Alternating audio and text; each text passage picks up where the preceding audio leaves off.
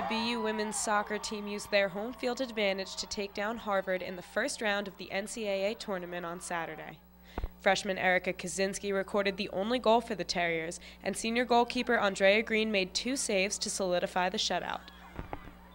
Um, Purse was really fast up top, so um, we scouted her, wanted to be ready for her speed, but mostly we just wanted to keep playing the way we've been playing, um, imprint our style of possession, and um, moving the ball quickly. The win advances the Terriers to the third round where they will face Santa Clara at Virginia Tech later this week.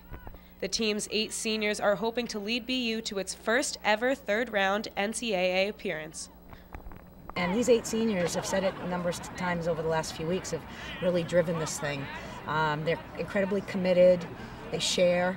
Uh, they're sharing it with the younger players, uh, but they're also they're showing the way by not only words but by actions and that's why uh, an experienced team can be a dangerous team. That's why a mature team can be a dangerous team in postseason because they don't want it to end.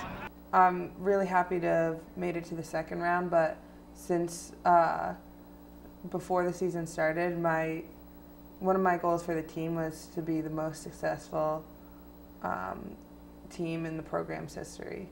So it would be huge if we made it to the third round and really like be awesome for the senior class.